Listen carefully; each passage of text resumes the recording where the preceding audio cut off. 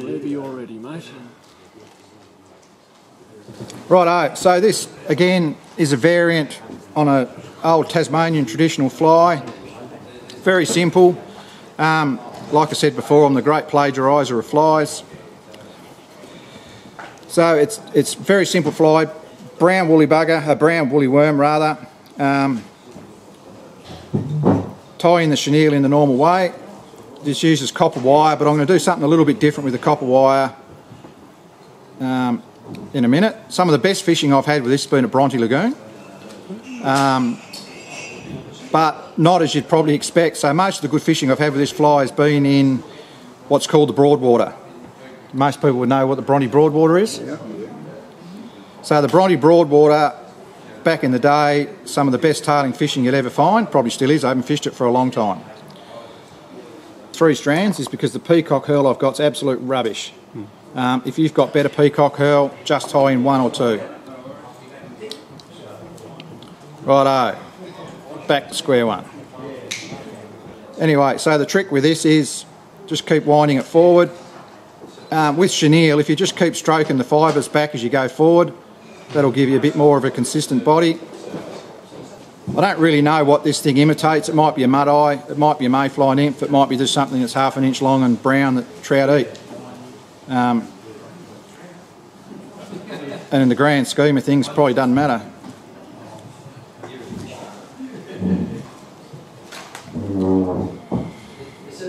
You'd obviously fish it slowly, Yeah, slowly. Um, figure eight it. well, it used to be what was called the old Tassie pool, which you probably couldn't say in mixed company, but um, it was basically just a strip that long, so it was just a strip like that. If ever you watch Bill Beck fishing wet flies, that's the that's the origin of the great Tassie pool. Um,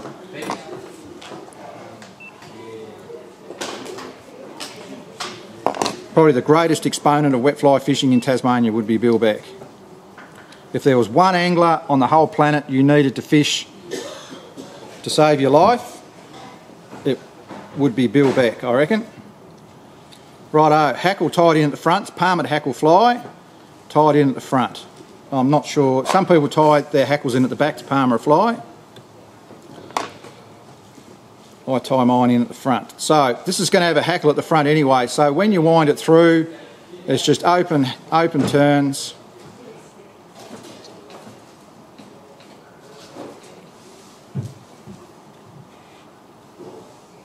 You can get another one out of it, do so.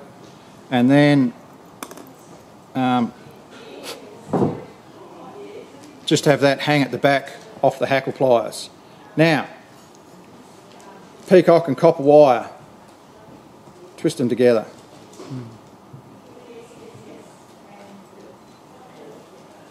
Like that. And then this is what's going to hold your hackle down. So you wind that back through.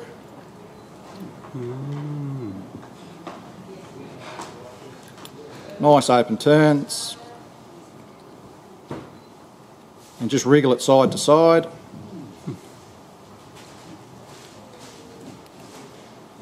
Like yonder. Makes a nice head too.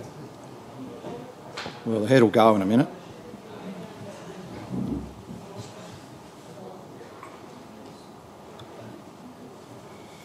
So there we blow. And then you can get rid of that. You could put a red tag on the end. I never did. Get rid of that. So that's the basis of the fly. Now in the in the description I said to put a front hackle of grouse on it. Um, you mightn't be able to find grouse. It's, it's a beautiful speckly type of feather. But what it wants is just a nice soft hackle. You might have an old hen hackle which has got really nice soft um, fibres in it. It's just movement. I mean, the fish aren't sitting on the bottom going, oh, that hasn't got grouse on, I'm not going to eat that. Um, it's really just a bit of colour variation and a bit of movement. It's grouse partridge. Is it just- Grouse is grouse. is it? It's not partridge. Um, if it was, yeah, yeah, whatever you're comfortable with. Um, two different types of bird. They're a game bird. Yeah, okay. Um, Poms just love shooting them. Two ways of playing with grouse. If you're going to tie a traditional soft hackle fly, you tie it in by the tip, but I'm not, so I'm not going to. So I just tie it in by the stem. It's a fiddly um, feather to use, but it moves beautifully in the water. And you just really want a couple of turns and just give it a little bit, if you can get that much out of it. Leggy. So leggy, buggy, hangy. Beautiful. Well, oh, I'm not going to say that.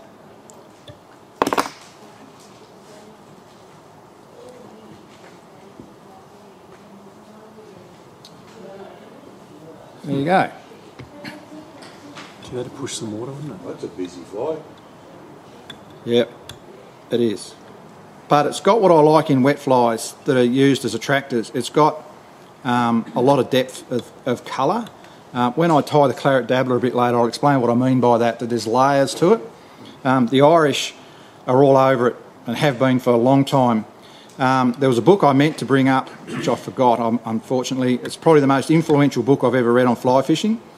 And it's called A Man May Fish by a fellow called Kingsmill Moore. Um, he was an Irish judge and he used to fish the locks of, of Ireland. Um, it's, it's a great read, but it talks about the development of um, the Bumble series of flies, which are big water pushing loch style flies. But more importantly, it talked about the development of them and how, why he had colour in them and what worked and what didn't. Um, so there we go, that's my version of the brown woolly worm. Um, I like the little contrast that the peacock gives through it. You can tie the peacock on its own through it, but after a couple of fish, it just breaks and falls away.